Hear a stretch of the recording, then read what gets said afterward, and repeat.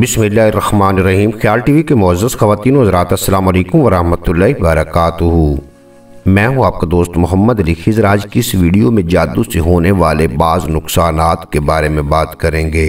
जादू इंसान की अक्ल, सेहत, जिसम और जान, अजदवाजी, मसाइल, औलाद, रिश्तेदारी, ईमान और दीन समेत बहुत सारे मामला बिगाड़ देता है।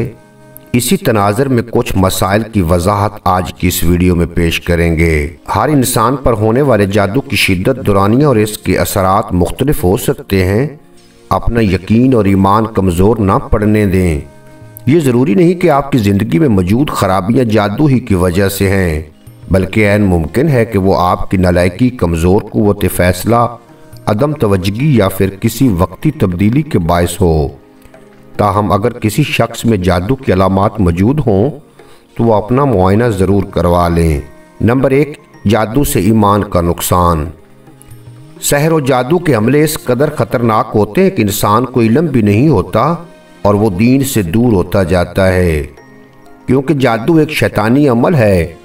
शैतान की खुशनुदगी इसी में है कि कोई मुसलमान अल्लाह ताला और रसूल खुदा सल्लल्लाहु अलैहि वसल्लम का दामन छोड़कर दूर हो जाए इस सूरत में इंसान रब ताला से दुआ करना तरक कर देता है। इबादत से महरूम हो जाता है और बाज़ात गुस्ताखाना किस्म की गुफ्तगु भी शुरू कर देता है। एन मुमकिन है कि वो कुरानी आयत और अदीस रसूल खुदा अलैहि वसल्लम का वाज इनकार भी कर दे।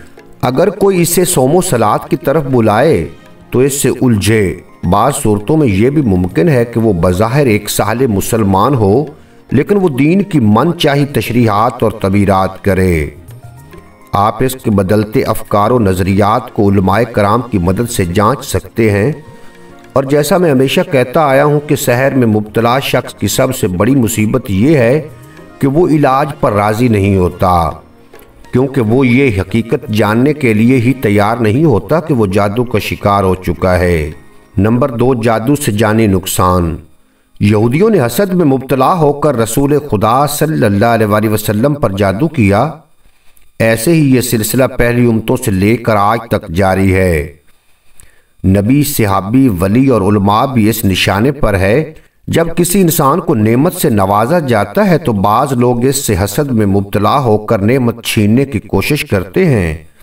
फ़ी ज़माना, ख़ानदानी झगड़े, सास बहू के मामलात, पसंद की शादी, कारोबार वगैरह के मामलात की आड़ में दूसरों की जान पर जादू के वार करना आम है।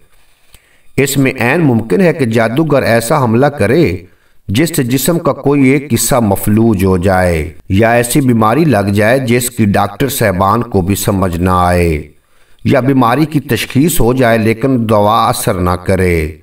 नतीजतन बंदा मुख्त सिर तवील मुद्दत तक बीमार रहकर मौत का शिकार हो जाए।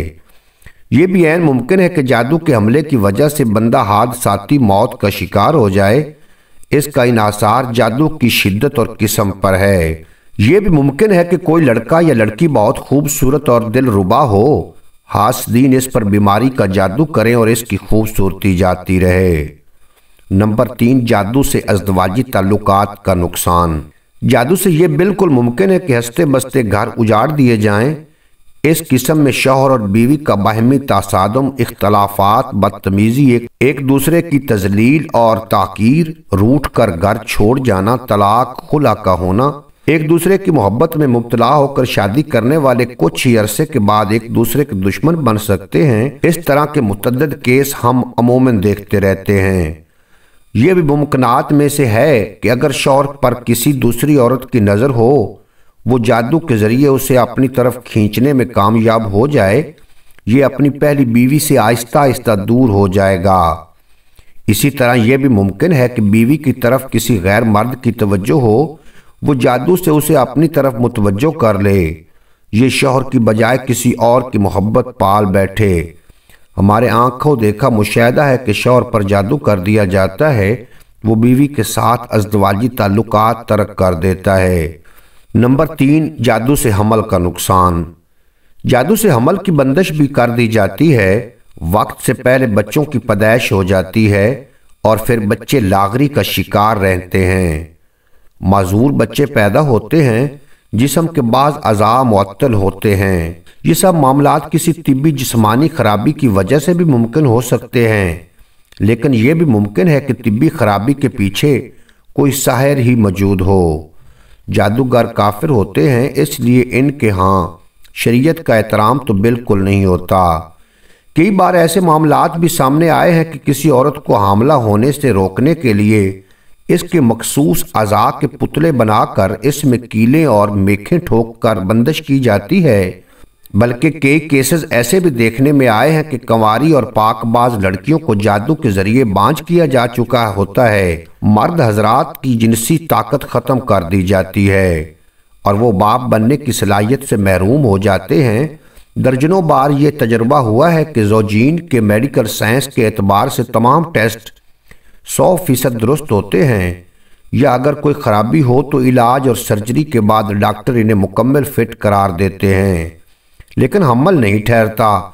इसकी मुमकिन वजूहत में से एक वजह जादू या नज़र बद हो सकती है। नंबर चार, माली नुकसान। अमलियात और रूहानी इलाज की फ़ील्ड में सबसे ज़्यादा यही नुकसान देखा है। इस नोयत के नुकसान बेशुमार देखे। दिनों में अरब पति लोगों को मुफलिस होकर फुटपाथ पर पहुँचते देखा है। ज़ाहिर है, जादूगर मुफ़्त में जादू नहीं करता, बल्कि वो अच्छे खासे पैसे लेता है।